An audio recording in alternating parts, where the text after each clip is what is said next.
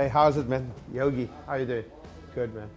Um, we were talking about uh, how far we got back, uh, how far we go back in our family of barbering. And uh, I think it, it's all started out obviously in India because my grand, great grandfather, grandfather, and dad were all from India. And I think the journey started to, uh, to come down to Cape Town to start the barbershop in uh, as early as 1901. And I think my grand, great granddad got an opportunity to open up a shop in Uitenhage. I'm not quite sure exactly why they didn't sail all the way to Cape Town though. But um, it was, and he was there for around about, I think since early 19s to around about 1915 when he went back. And then uh, interesting thing is grandfather decided he's going to sail down. And I, I, think maybe the route opened up in the early 1900s to come right down to the tip in, in Cape Town.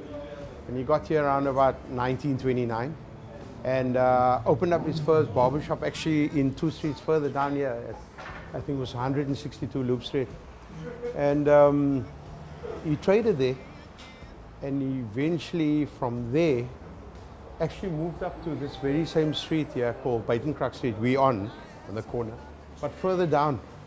And uh, Granddad opened up his barbershop in 1940 actually on that corner, as the photos would uh, show in the, in, in the barbershop. When, and he traded there and then uh, had an opportunity, I'd say uh, in 1957, to actually purchase uh, this property and build a, build, build a barbershop right here.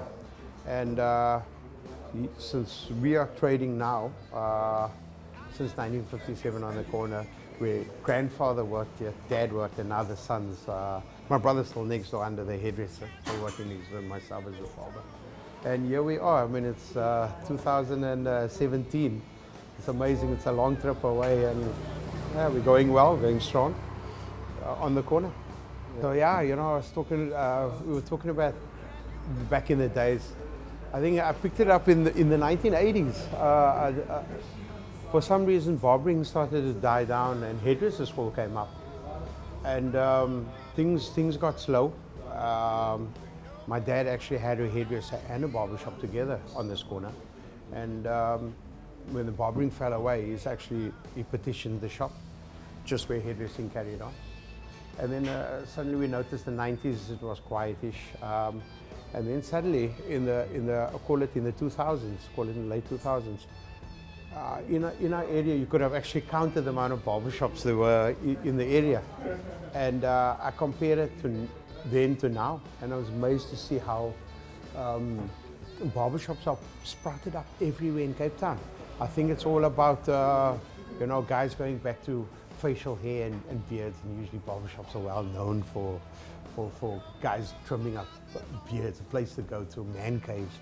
And uh, it's amazing to see at the moment, since we've been around for such a while, we see um, barbershops opening.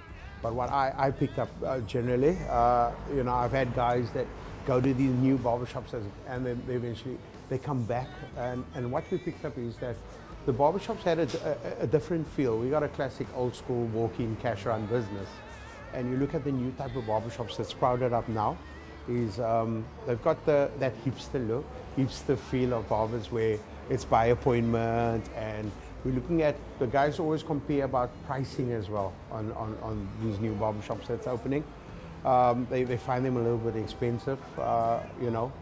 But again, at the, at the end, of, end of the day, I guess it's different strokes for different folks, you know, so, yeah.